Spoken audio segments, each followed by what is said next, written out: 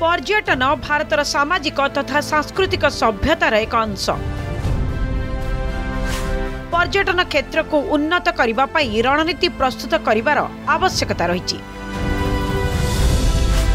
ପର୍ଯ୍ୟଟନ ବିଭାଗର ଦେଖ ଅପ୍ନା ଦେଶ ଉଦ୍ଦେଶ୍ୟ ପୂରଣ ଦିଗରେ ଦେଶ।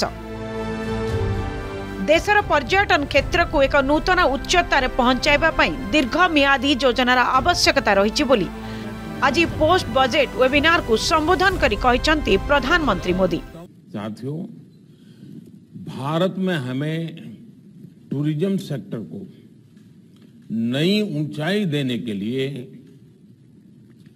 आउट ऑफ़ द बॉक्स सोचना होगा और लॉन्ग टर्म प्लानिंग करके चलना होगा।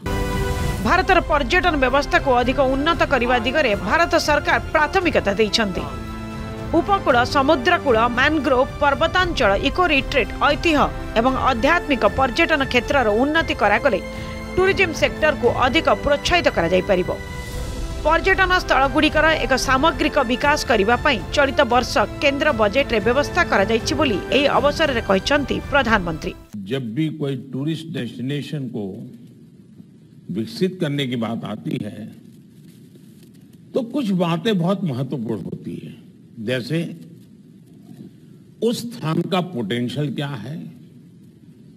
ईज ऑफ़ ट्रैवल के लिए वहाँ की इंफ्रास्ट्रक्चर नीड क्या है? उसे कैसा पूरा करेंगे?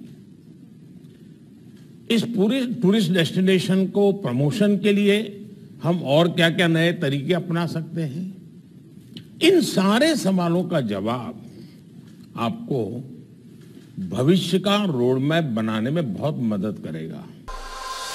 ପର୍ଯ୍ୟଟନ ଭାରତର ସାମାଜିକ ତଥା ସାଂସ୍କୃତିକ ସଭ୍ୟତାର ଏକ ଅଂଶ ଦେଶରେ ଟୁରିଜିମ୍ ସେକ୍ଟର ଗୁଡ଼ିକରେ ଅଧିକ ସୁବିଧା କରାଗଲେ ଏହା ପର୍ଯ୍ୟଟକଙ୍କ ସଂଖ୍ୟା ବଢ଼ାଇବ ବୋଲି ମୋଦି କହିଛନ୍ତି ଏହାଦ୍ୱାରା ପର୍ଯ୍ୟଟକମାନେ ଆକର୍ଷିତ ହୋଇପାରିବେ ପର୍ଯ୍ୟଟନ ବୃଦ୍ଧି କରିବା ଦିଗରେ ଟୁରିଷ୍ଟମାନଙ୍କ ସୁବିଧା ଡିଜିଟାଲ ସଂଯୋଗ ପରିଷ୍କାର ପରିଚ୍ଛନ୍ନତା ଏବଂ ଉନ୍ନତ ଭିତ୍ତିଭୂମି ସହାୟକ ହେବ ବୋଲି କହିଛନ୍ତି ପ୍ରଧାନମନ୍ତ୍ରୀ बहुत बड़ा है बहुत पुराना है सदियों से हमारे यहाँ यात्राएँ होती रही है।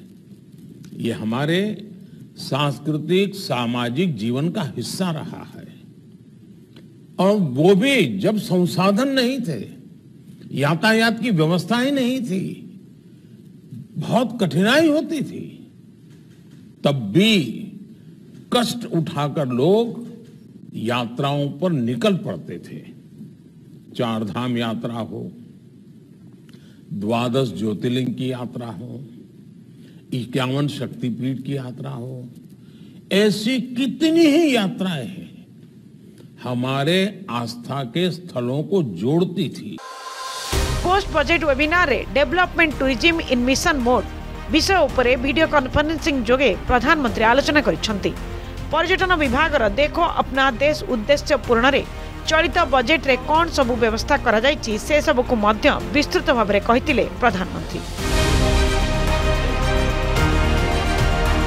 Bureau report Argus news.